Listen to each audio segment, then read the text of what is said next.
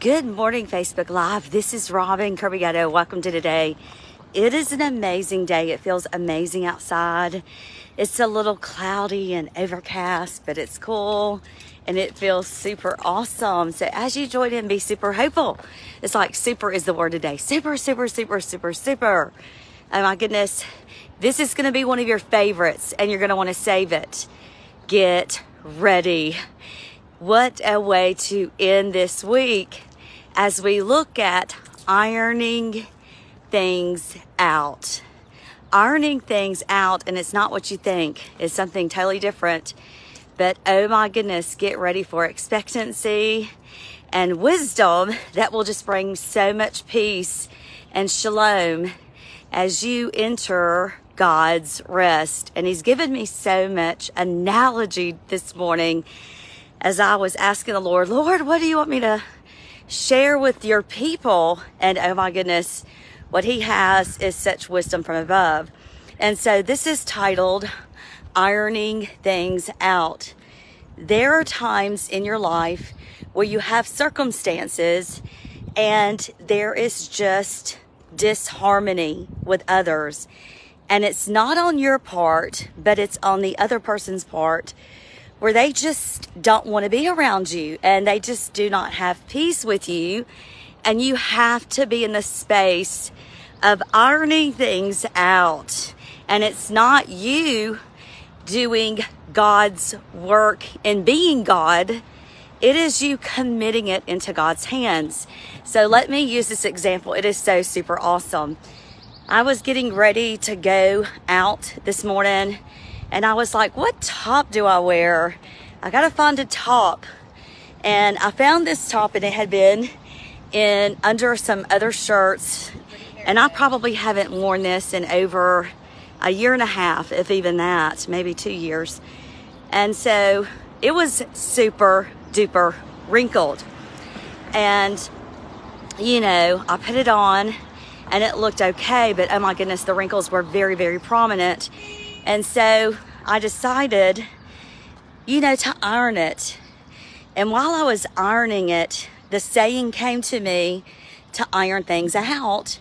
And something has been on my heart for a while in relation to a relationship that I'm in. And that person has a form of peace on the exterior, but I feel the energy from their members towards me and how they treat me differently than other people. And you know what? I moved into acceptance a, a, a long time ago. You have to understand, and you're going to see this in the forbidden fruit, the spiritual dis-ease. Acceptance can be your best emotional transition because it allows you to move forward. So many people are stuck on a roller coaster and going up and down because you haven't moved into acceptance and you're expecting things to change in certain relationships and it gets you frustrated. And this is for you. It's for everybody because you're going to go through this sometime in your life. And it's called ironing things out. And so as I was ironing out, and you know, I've been praying for this person and you know just praying because remember we don't want to pray soulish prayers. Soulish prayers was like i bind jezebel i bind python da, da, da, da, da, spiritual warfare.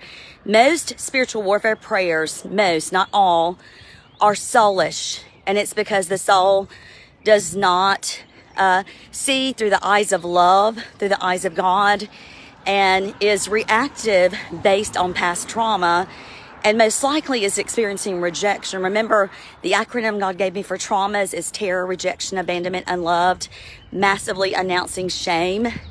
That's what God gave me as the acronym for traumas. And so, most likely, you're experiencing rejection if you don't feel that shalom, that peace with someone else, and especially if they are treating you differently than others. And so, I've been praying for this person, I'm just saying, God, just touch their mind, just give them peace, just show them your love, let them see through your eyes, Father. That's been my prayers and bring the fullness of salvation, God. Now remember that word salvation covers everything. Whatever you need, it is God's grocery store. You go in there and you get it. You need healing, you need victory, you need prosperity of soul, you need breakthrough. That is God's grace restore. That is what we have in Christ Jesus. When we receive eternal life, we have God's riches and glory. Everything that we need is in that grocery store that we are able to eat from that grocery store and get food from that grocery store. So we're going to get into that today. And as I was ironing my shirt, you know, God gave me a few analogies. Oh my goodness, y'all are going to be blown away. Only God could give me this. Now, understand I'm not brilliant. I'm just radically obedient. And I want to see God. I want to see God. So I get to see God. Amen. And so as I was ironing my shirt, God said, Robin, think about the wrinkles that you're ironing out and how it talks about that saying to iron things out, which means to straighten things out, to put aside differences and resolve problems. Well, sometimes you just cannot resolve problems with people who do not want resolution and do not want peace. And although they might seem like they want peace on the exterior and they seem interactive with you, it is not genuine. It's not authentic. And it's just, uh, uh, it's, it's manufactured. It's manufactured. And it's from the soul, from their traumas of their past, in which they've got anger and bitterness and they won't let go of it. And so they're just holding on. And so they're in a mock trial where they are a prosecutor with the accuser of the brethren, Satan, and they're expecting to see you at the defendant's side where you have to defend yourself, but you're not there and it's their own prison and it's their own making. And so you're outside of that prison and you're looking in and you're praying for them. God, give them peace, give them shalom, give them your eyes, bring the fullness of your salvation. Pray Ephesians 1 17 through 23 that they have the Spirit of God's knowledge, wisdom, and the eyes of their heart are open and flow with light to have that understanding. Amen understanding today resurrection power. So they don't have to be in dead works okay? And so as i was ironing my shirt out god said robin when you think about what that person thinks about you and of course i'm going to bring this concept in and i learned this a year ago when i entered a fast and i was going through a circumstance and god was showing me how the accuser of the brethren the enemy, Satan, was getting me to think about what others were doing to me. And it's not that they didn't do it, they did, but I just didn't need to think about it because every time I thought about it, I was coming into agreement with the accuser of the brethren and was dwelling on it. Remember Philippians 4 8 to think on the things that are lovely, good report, things that are from above, things that are kind, things that are, you know, going to bring forth truth. Think about truth. And so God taught me, it was about this time last year, a little bit before, where God had me do a fast. And all through that whole week, He was showing me day and night every time I thought about unlovely thoughts of how people were towards me, how that was a coming into agreement with the accuser of the brethren, and it was affecting my heart. And so when we iron things out, Hebrews 12 14 says that we're to strive to have peace with all people and holiness without which no one can see God. And so we always say, without holiness, no one can see God. But we don't see the component also in verse 14 of Hebrews 12 about peace. Because if you don't have peace, you have unforgiveness. It doesn't mean that that person has to come into agreement with you, that they, that they have to make peace with you. It means that you make peace with yourself towards them. And so the wrinkled shirt would be like me having this cool shirt and going out and walking. And although it might be, let's say I had a thousand dollar shirt on, and you know, it's a beautiful shirt, but y'all, if it is all wrinkled, nobody's gonna look at the shirt and say, man, that is such a beautiful shirt she's got. They're gonna say, look how wrinkled that shirt is, they're not going to notice the beauty of the shirt. They're just going to notice the wrinkles. And so those wrinkles represent areas in your life where you haven't entered peace on your part to iron things out for you towards them. As God showed me many years ago when this woman that was a friend of mine and I poured into her whole entire family. I was pretty much the pastor of their family would call when people would die, would minister to them when they were in the hospital, and would just call her cousins, her uncle, uh, her other, just her daughter, daughters, her family. And she just got real bothered with me because she had had a dream straight from the pit of hell that was, I'm not going to even repeat it, it was just so demonic. It's all I got to say. And I told her that that was Leviathan and that Leviathan had given her that dream. And of course, she got offended with me. And it, the dream itself was so demonic that it traumatized me. And that's why I tell people, please do not tell me dreams you have about me unless they are good because they literally traumatize me. They pull on areas in my members of undealt with trauma, of mm-hmm. areas that need to be healed. And it literally is like tasering me like this from head to toe with trauma. And it literally traumatizes me for days. But thanks be to God in Christ Jesus, God has given me strength to overcome that kind of thing. But at any rate, she just totally cut me off and treated me like I was demonic and that I was of Satan. And, you know, I was wrestling in my members with the Lord, and she would not communicate with me, and she would post stuff, and I would just say, Look, I know I'm probably being paranoid, and y'all, yes, I do it too.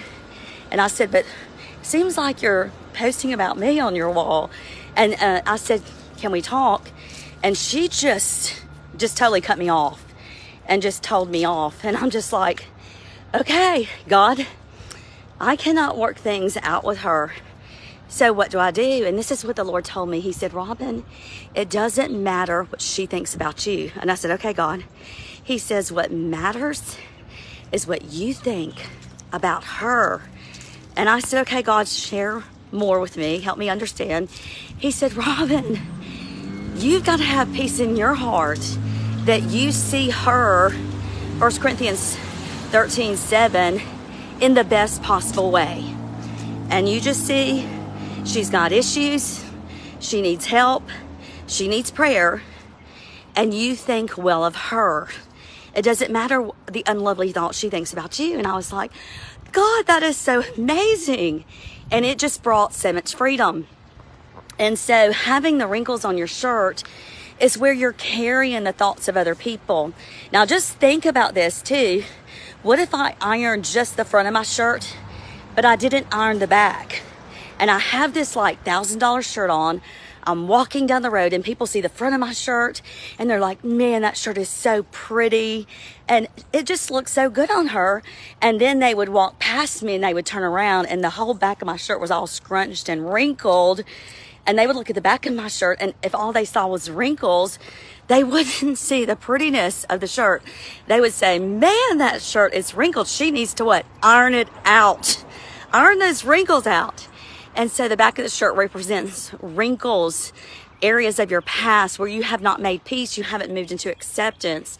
And so what does this look like? And it's so funny before I forget, I want to bring this concept in as well.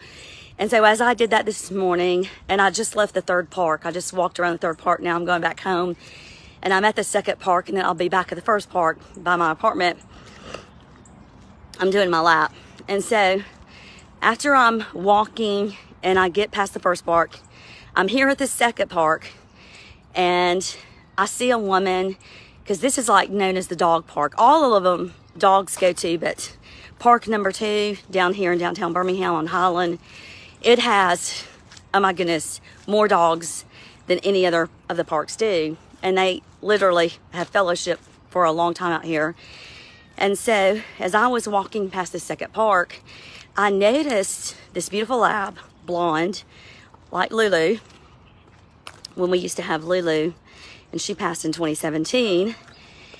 When I noticed that lab, that lab was just pulling its owner, and she was almost having to trot to keep up with this lab that's, you know, pulling her like this. And the lab was pulling her to the park because, of course, it wanted to go fellowship, wanted to go play, it wanted to go run, and it needed to go to the body, okay? And, you know, I just could see the peace of God that as we have that peace, now remember, peace, shalom in Hebrew means restoration, restitution, being made whole, okay? And it's about you having restoration, you having restitution, you being made whole, although you don't see it in your life right now in circumstances. And so as I saw that dog leading her and she was being pulled by it, you know, I could just see the peace of God that we've stri- you know, we strive to enter peace, Hebrews 12, 14, and pursue holiness without which no one will see God. And so that peace pulled her to the park. It pulled her to rest, the rest area. And God's peace pulls us to Hebrews 4, the day of rest, the seventh day rest, where we cease from our own labors and we let God be God. One of the biggest areas of freedom that God brought me many years ago when I was, you know, trying to make things happen for people to be okay with me and to be okay in general with each other, and I was being the peacemaker. One thing God told me, or wanting things to happen for others too, one thing God told me is He said, Robin, you're not God. You're not Jesus. You're not Holy Spirit. So just leave well enough alone and pray and just commit it into his hands. And, you know, God just taught me that, that I can't make people have peace with me and be okay with me, especially if areas in their members of trauma are the courtroom that they're sitting in in a mock trial in which their, their anger and bitterness is active and they're accusing me. I cannot change that. I'm not God. I'm not Jesus. I'm not Holy Spirit. And so I can only iron things out for me. I can't go to their house, open their closet, get their shirts and iron their shirts. I have to only iron things out for me. And so when we look at being in a good space, stop thinking about what others have done to you, even though it's unlovely, and just say, I break agreement with the accuser of the brethren. I choose not to think about this, God, and I just bless them. I pray for peace. Your peace rule their heart. Your peace surpass their understanding, and just bring the fullness of your salvation in their lives, God. Saints, somebody needs to hear this today because you're trying to iron things out with someone else. And you know what? They just want their shirt to be wrinkled. You can't, you know, being a mom of two boys, especially my youngest, there's times in the past where he would get a shirt and I'd go, You need to iron that. You need to iron that. And he'd go, Mom, it's fine. And I'm just, all I can see is the, you know, are the wrinkles. That's all I can see are the wrinkles. I cannot see the cool shirt that I bought that looks so amazing, that I knew that would look amazing on my son. I can only see the wrinkles. And I'm just thinking, man, just, and I would even say, just let me iron it. Just let me iron it. Sometimes he would, sometimes he wouldn't. And you know what? I could not stress out all day if my son went to work with a wrinkled shirt because it's just it's just a distraction okay and that's how it is when you're wanting others to have peace with you and they don't so what do you do you move into acceptance, wake up, reality check. They're not okay with you. And you know what? That is okay for you for this moment because you're not God. You're not Jesus Christ and you're not Holy Spirit. And so all you're called and required to do is to strive, Hebrews 12, 14, to enter peace. And this is what God showed me. And I'm bringing this in today and I put this in, I hear the Father saying, just so love it. Okay. And you know, Joel 225 and Joel 226 is what my ministry table it and my website tableit.org and all of these videos on my Table It channel on YouTube. It's based on and it's in my book Mindfulness My Christ. And it is Joel 226, which I'll get to in a minute. But Joel 225 says, I shall restore what all that the cankerworm and the locust have eaten verse 26 and you shall come and eat in plenty and be satisfied as you see God do wonders in your midst and no longer show you no shame.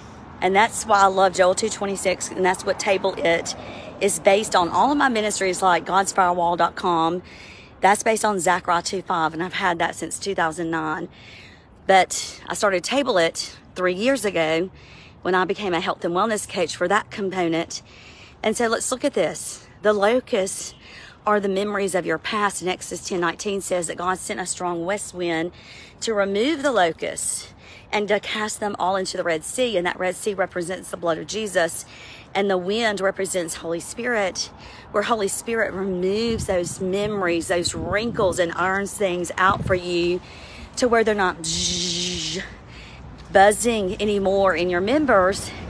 And so you're able to enter God's grocery store of salvation and you're able to get the amazing food. Like we're doing the Younger You diet, we're on day five.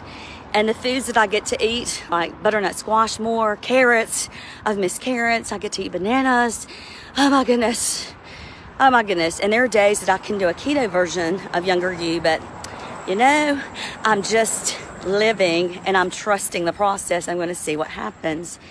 And I think about younger you, God will, Isaiah 40, 31, renew your youth. Those that wait on God shall have their youth renewed. They shall run and not be weary. They shall walk and not faint. And so, Joel 2:26, that we shall eat in plenty. Why? Because we've entered the fullness of salvation through peace, shalom, God's peace that rules our heart, that surpasses our understanding. And as that peace rules our heart, as it surpasses our understanding, guess what? Hey, good morning.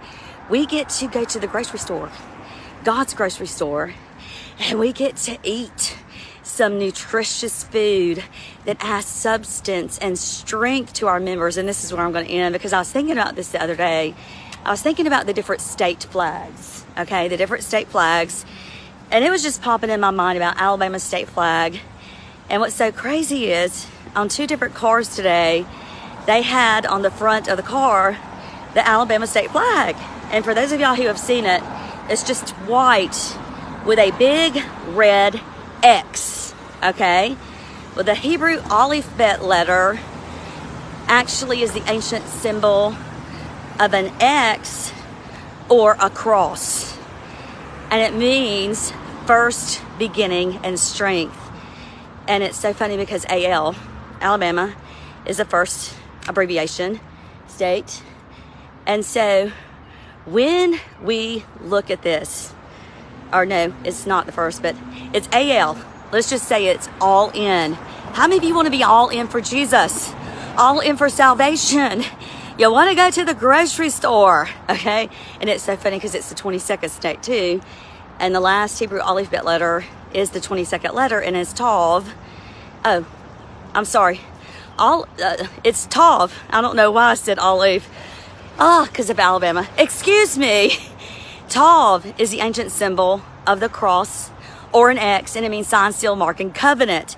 But hallelujah, let's go from the beginning to the end, to Tav, to the cross, go to the cross and get the seal and the mark of covenant on your soul to iron things out.